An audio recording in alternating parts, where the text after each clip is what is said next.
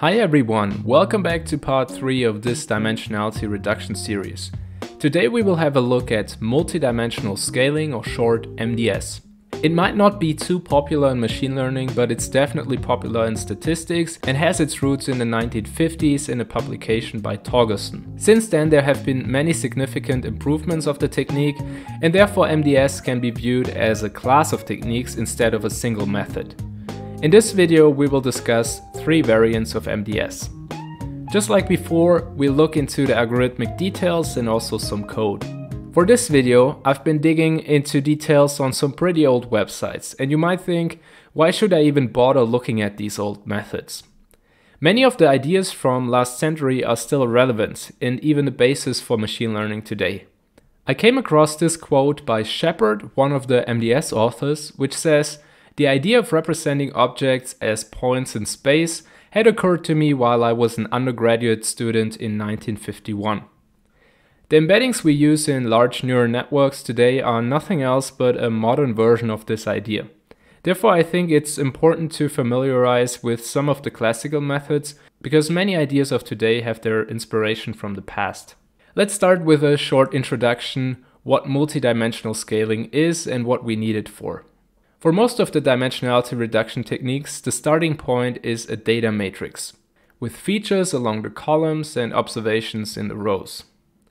For MDS, it's a bit different because we assume to start with a distance matrix. This matrix contains the distances between all points based on some distance function. Just like in the literature, we can use delta to refer to the entries of this matrix. Of course, we can always calculate the distance matrix from the data, but MDS also works if we don't have access to the raw features. We will see in a second where this assumption comes from. Then the idea is, like for all dimensionality reduction techniques, to map the data into a lower dimensional space, but with the goal of preserving the distances between the observations. So the spatial configuration on the right is supposed to reflect the distances in our distance matrix. This is also where the name comes from, we want to scale our distances into the multidimensional space on the right. Let's use an example to understand why we start from distances. MDS has its origins in psychometrics, where it was proposed as a method that should help to better understand the human judgment of similarity. We can, for example, collect rankings of the similarity of different pairs of emotions. Here we have a surprised, happy, and sad face. The numbers represent if people find two emotions similar or not. For instance, surprised and happy seem to be very similar with a value of 0.7. We don't have a data matrix for these observations, which means we don't have numeric features describing the emotions. This means that the actual data space is latent to us. Using MDS, we can now visualize the emotional space only based on these distances. And this visualization might, for example, reveal that joy and surprise are often perceived as similar. Similarities can always be converted to dissimilarities. And dissimilarities reflect distances, which are used in MDS nowadays. There are some mathematical differences between similarity and dissimilarity, and also numerically, similarity tends to have more close to zero values, but we won't really discuss this further and just keep in mind that MDS typically operates on dissimilarities. Finally, distance matrices always need to be symmetric for this method. Therefore, we can just use the upper or lower triangular part of this matrix. Also, the diagonal can be ignored as the distance of a point to itself is always zero. So these entries are what we end up with. The number of distances for n observations can also be calculated using the Gaussian sum formula on the right. Now that we have a rough idea what MDS is all about, let's take a look at the mathematical framework. For this we will use the standard example for all MDS tutorials, flight distance between cities. This is well suited because it allows us to intuitively define the relationships as distances or dissimilarities. Here we have five cities and their distance in miles in a symmetric distance matrix. Given such a distance matrix, the task is to find the optimal distance preserving low dimensional map. Finding such a map means that we need to find a set of vectors in a p-dimensional space. For the orange point, we would for example look for these coordinates. The challenging part is that we need to maintain the distance to all other points according to our distance matrix. And that's exactly what's meant by scaling the distances in MDS. As mentioned at the beginning, each of our distances in the matrix is typically denoted with lambda ij, representing the distance from point i to j. The low dimensional distances can also be displayed in the distance matrix. These distances are denoted with dij. What we want to do in MDS is to approximate the distance matrix such that each individual distance is approximately the distance of the original matrix. We can use an error measure like the squared distances to optimize the approximation. How to solve these approximations will be explained in the next minutes. As mentioned in the beginning, MDS is not one single algorithm, but instead a collection of methods. There are different ways to categorize them, but on a high level there are these three subcategories. The first one was independently published by Torgerson and Gower and is called the classical MDS. It shares a lot with principal component analysis and that's why it's also termed PCOA, principal coordinate analysis. Under the hood it uses eigendecomposition to find the optimal mapping. This projection only works if we assume the distances to be Euclidean. A more general form is called metric MDS, mainly published by Shepard and Kruskal, which uses an iterative algorithm to find a solution. Here the distances might be non-Euclidean, and in the following we will also discuss different metrics and what a metric is in general. Classical MDS can be seen as a special case of metric MDS. Finally, non-metric MDS can be used in the case of qualitative relationships. This is the case when we have no direct distance information, but just an ordinal ranking. For this, a monotonic function like ascending or descending is applied to the distances. Just like with metric MDS, an iterative optimization algorithm is used to find the solution. So this is the high-level overview of what we will discuss in this video. Just one more remark, if you look through the literature, the notations can be quite confusing sometimes and I realized that they are not always consistent. Therefore, here the explicit explanation for this video. Lambda ij are the original distances, dij the distances in the mapping space, and dij hat are called disparities, which will become relevant in the last part of this video. Let's begin with the classical multidimensional scaling, which is also known as principal coordinate analysis or Torgerson-Gower MDS. To fully understand this first method, it's recommended to watch the previous PCA video as there will be some overlaps. Just one note, if you want to learn what is happening under the hood when using the good old scikit-learn MDS implementation, feel free to skip to the metric MDS part. Instead of the classical decomposition approach explained in the next minutes, metric MDS uses an iterative algorithm. Therefore, the following explanation of classical MDS will be rather high level and we will focus on the scikit-learn implementation. The classical MDS algorithm consists of three steps. First, we construct a so-called gram matrix. Then we perform eigendecomposition on this gram matrix. And finally, we project the distances onto new coordinates. Let's understand this step by step.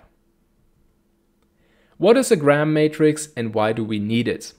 For classical MDS, we assume that the distances are Euclidean distances. For two vectors xi and xj, the Euclidean norm corresponds to the inner or scalar product of the distances.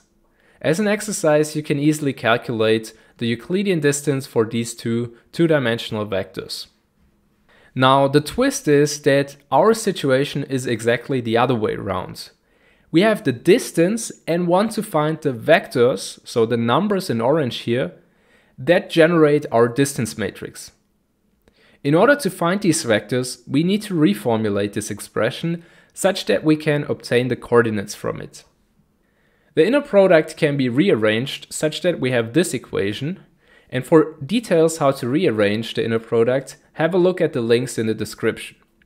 Here we however still have some dependencies on xi and xj. These dependencies are however the scalar product of xi and xj with themselves. This is nothing else than the distance to the origin of the coordinate system. Consequently, we only have distances on the right side of the equation and are completely independent of the coordinates of xi and xj. With this simple trick of linear algebra, we can find the coordinates by calculating the elements on the left. If we do this for all points, we end up with the inner product matrix, which is also called Gram matrix, named after the Danish mathematician Jørgen Gram. So here we have the closed form equation that defines the Gram matrix S. Technically, this is nothing else but the previous term written in matrix representation. The d squared is the result of the element-wise multiplication of all distance elements. Additionally, we can see that the so-called centering matrix C is multiplied twice. It's simply removing the row and column averages such that the rows and columns are centered. This centering is needed to incorporate translational invariance. This means we want to be invariant to shifts of the points, meaning that the distances should stay the same if the coordinate system moves. As a summary, we have to go in the reverse direction to recover the data matrix from the distances.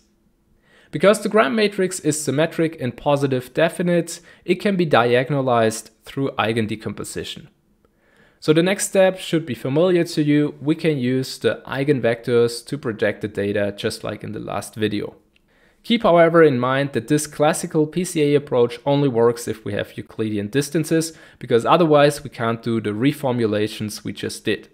The final step is to use the eigenvectors to project the Gram matrix to find the points of our configuration. For this we multiply the eigenvectors with the square root of the Gram matrix. The square root naturally arises when we reformulate the eigenproblem. In order to reduce dimensionality, we can just keep the first n eigenvectors belonging to the largest eigenvalues. Here it's just like with PCA. The first coordinate contains the largest variation and explains most of the distance relationship. One remark about this solution, it's not unique because the coordinates of the configuration can be rotated or reflected and still lead to the same distance matrix. So in this reverse process, all information about location and orientation is lost when calculating the distances. After this quick PCA refresher, let's move on with the most widely used version of MDS called metric MDS. It's based on a least squares loss function and sometimes also called least squares MDS. Previously, we had the assumption that the distance matrix is Euclidean. But it turns out that there are plenty of other distance metrics available, so metric MDS is a more general algorithm that finds a mapping for any distance function. The downside is that we can't make use of any closed form solution like in the previous section, and therefore metric MDS uses an iterative optimization algorithm. Here you can see a couple of common distance metrics beyond the Euclidean distance. As we will see later, we can pass the algorithm any distance matrix and get a good low dimensional approximation. Before we however look at the details, let's first define the term distance more precisely. Mathematically, a distance metric needs to satisfy three axioms. First, distance needs to be positive and the distance to a point itself zero. Secondly, distance needs to be symmetric, so the distance from i to j is the same as from j to i. And finally, a distance metric needs to satisfy the triangle inequality, which means that the sum of the shorter distances between three points always needs to be larger than the longest distance, like visualized in this triangle. Importantly, a distance function is called metric distance if it satisfies the triangle inequality. If not, it's called a non-metric distance. That's also where the names metric MDS and non-metric MDS come from. If you want to learn more about metrics, especially which metrics exist, I've linked a great blog post in the video description. Now let's talk about the metric MDS algorithm. As already mentioned, it's an iterative method. The steps can be outlined like this. First, we need to initialize the low dimensional points, and this can happen randomly, but there are also more advanced strategies. Then we need to calculate a distance matrix for the low dimensional map. And don't mix this up, the original distances can still have any distance metric, but the low dimensional approximation is usually displayed as Euclidean distances because this is simply most intuitive for humans.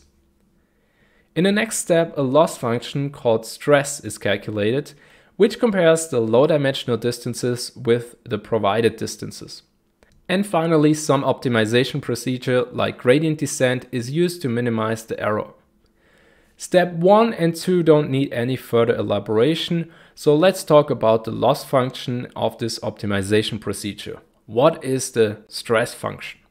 The raw stress function is defined through this equation.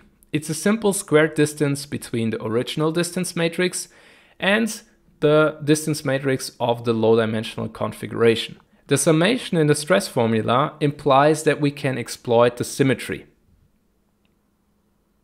So visually, the above term is simply the square distance between the leftover matrix elements. Pretty straightforward so far. This stress function is one of the most significant improvements of MDS. Shepard first presented the idea and his colleague Kruskal finally proposed this loss function. The word stress simply stands for standardized residual sum of squares and is a variance measure. An improvement suggested by Kruskal is to additionally normalize the stress. This raw stress function is sensitive to the scaling of distances. If another scale is applied, the stress value changes. To work around that, the stress function has a normalization term which reduces the distances to the same unit. The denominator is simply a scaling factor that makes the whole term invariant under uniform stretching or shrinking.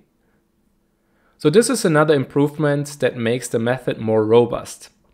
Another convenient property is that normalized stress is between 0 and 1. Kruskal also provided an empirical evaluation that suggests which values of normalized stress are acceptable.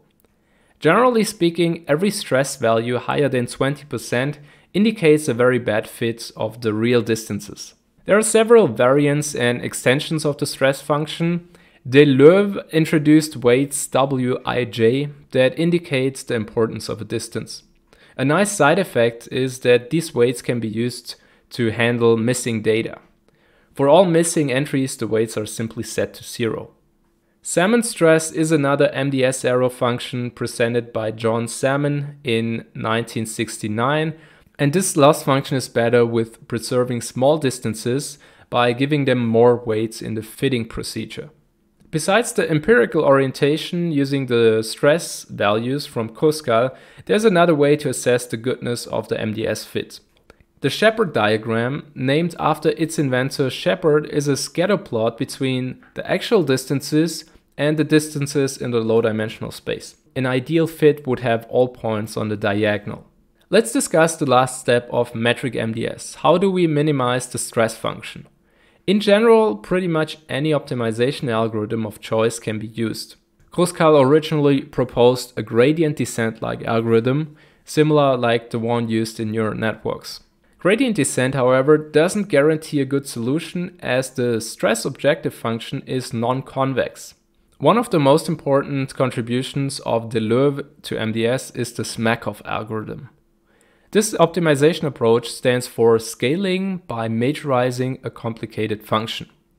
This class of methods can also be found under the name minimization by majorization. And that's exactly what scikit-learn uses when you call the fit function. So what is this majorization?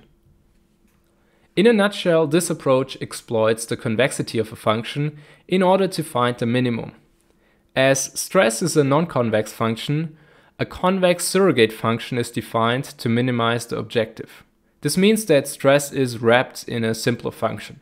The algorithm then iteratively minimizes the majorized stress function through supporting points. The advantage of SMACOF is that it guarantees a monotone convergence. You can think of it like sandwiching the stress function in order to minimize it, without actually touching it. The exact details of this method won't fit into this video, but there are plenty of websites to read more about it. There's also a visualization of metric MDS in Kruskal's original paper from 1958. On the left is the starting configuration and on the right the final configuration after 50 iterations. As with all optimization algorithms, local minima are a problem and it's recommended to run MDS several times with different starting configurations. One last open question for metric MDS is how do we choose the optimal dimension for the low dimensional configuration? Here we find an answer again in the Kruskal paper. We simply run the algorithm several times and plot the stress values versus the dimension. Effectively, this is a scree plot like in PCA, and we can now make use of the elbow criterion to find the dimension with a sufficient approximation. It's natural that higher dimension leads to smaller stress values because we have more space to position the points. Before we go ahead and implement MDS for our custom dataset, let's have another look at the sponsor of this video series, which is Brilliant.org. Brilliant is a free and easy way to learn math, computer science, statistics, coding, and much more interactively. Let's say, for example, you need a refresher on linear algebra. Then you can simply go to the foundational math section and try the vectors course. As Brilliant is also available on your phone, you can integrate these courses into your routine and become better day by day. I'm a big fan of interactive courses as they simply maintain a much higher level of attention. And as you can see here, it's actually a lot of fun to go through the exercises. Another thing I really like about Brilliant is that they have a variety of courses for very rare and interesting topics, including quantum computing, computational biology, and many other concepts in technology. Brilliant offers a free 30-day trial, which is a great way to try it out. You can use the link brilliant.org slash DeepFindr to get 20% off the premium subscription. One thing I wanted to recommend is to take a look at the implementations of algorithms you are using. For MDS, for instance, you can precisely see what is happening under the hood. If you scroll up a bit, you can see that there is a function called smacof and also one called smacof single. And here you can see what exactly is happening when you fit this function. So we will talk about non-metric MDS in a second, but if you use metric MDS, you simply use the dissimilarities or the distances. And additionally, you calculate the distances as Euclidean distances for the low dimensional configuration. And down here, you can see that the stress value is computed and we have a couple more steps optimizing the values and that's pretty much it. So all that is happening is mainly what I've just described. Now, as always, let's have a look at this in action. And again, let's load the wine data set and the visualization functions that such that we can see what the embeddings look like. Going to the MDS section, there's one detail which is quite useful. You can pass the MDS algorithm pre-computed um, distances. And this is what we will also do. So we won't let the algorithm automatically calculate distances, but instead we want to start with a distance matrix. So using our wine data set, this calculates a distance matrix and this has a shape of 178 times 178 because that's the number of samples we have. And typically Manhattan distance, which is the L1 norm, works better in higher dimensions than the Euclidean distance. And here is just um, a heat map of the distances, only visualizing the lower triangular. And given that, we can now pass that into the MDS implementation. And for this, we instantiate MDS and we say first we want a 3D um, embedding and we say we don't want to use normalized stress, but we use metric MDS, and we pass in pre-computed because we want to give it the distance matrix we've just calculated here. And then what you give it when you fit the matrix is exactly this distance matrix. So there are two modes. Either you pass it a pre-computed distance matrix or you pass it the raw features, then it will automatically calculate the metric you specify here. For example, you can put in Euclidean here and it will calculate that for you. Okay, so we when we run this, it will give us this visualization. And I think for higher dimensional data, MDS is not perfectly suited because distances are simply a problem in higher spaces, but this is still acceptable. And as I put here, Manhattan distance typically works better than Euclidean distance. And there you can't use normalized stress and metric MDS at the same time. I'm not entirely sure why that is the case, but because of that, we have to print the raw stress. It would be better if we had the normalized stress, which is between 0 and 1. But still, this is the stress value, so that's the overall deviation between the low dimensional mapping and the original distances. And then we can run this for two dimensions as well, and we get this plot. The last technique discussed in this video is the non-metric variant of MDS. Non-metric distances are distances that violate the triangle inequality. We can easily construct such an example by defining the distance as 0 whenever the same animal occurs on two images, and 1 if the animal doesn't occur. This certainly violates the inequality because the two upper distances are 0 while the one on the bottom is 1. Another common example is ordinal data. Whenever we rank data according to similarity, it can also happen easily that the triangle inequality is violated. That's where the name non-metric MDS comes from. Ordinal data is however quite useful because it allows us to express distances simply based on comparisons. And comparisons are most of the time easier to calculate than actual distance values. The goal of ordinal MDS is therefore to find a configuration that preserves the order of the distances like in the original distance matrix. This order can be simply defined by arranging all distances in an increasing order. In this example, the distances between blue and yellow are the smallest in the matrix and therefore also need to be the smallest in the low dimensional map. The important question now is how do we ensure that the distances order is preserved? For this, Kruskal has introduced a monotonic function that maps the original distances to so-called disparities, denoted by d hat. Generally speaking, a monotonic function is a function that preserves order. Given the original distances, the function output should also yield the same order. Therefore, the function f is always non-increasing or always non-decreasing. On the right you can see a collection of some monotonic functions and we are particularly interested in the ordinal one. These functions of course have some parameters that need to be learned. In the case of the ordinal function, these parameters can be learned using least squares monotonic regression, or also called isotonic regression. Fitting such an ordinal function looks like the red line in this image. The monotonic regression can be solved using an iterative algorithm called pool adjacent violators algorithm, but we won't go into further details here. Using the fitted line, we can now compare the low dimensional distances against the disparities such that we optimize for the rank order and not the actual distance values. The optimization procedure of MDS only changes slightly by using the disparities predicted from the monotonic regression model. The rest basically stays the same, meaning that we also use SMACOF to optimize the stress function. Consequently, in ordinal MDS we learn both the parameters of the monotonic function as well as the coordinates of the data points. To finish this video, let's further extend our comparison table. MDS is a global technique as we consider all points at the same time. Classical MDS is just like PCA, a linear method. The iterative metric and non-metric MDS are both nonlinear.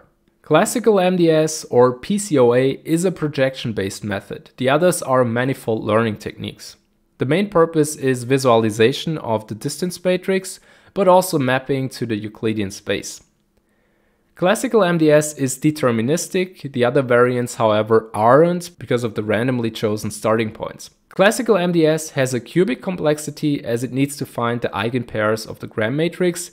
The other variants are roughly quadratic. Most of the time MDS is just used on smaller datasets.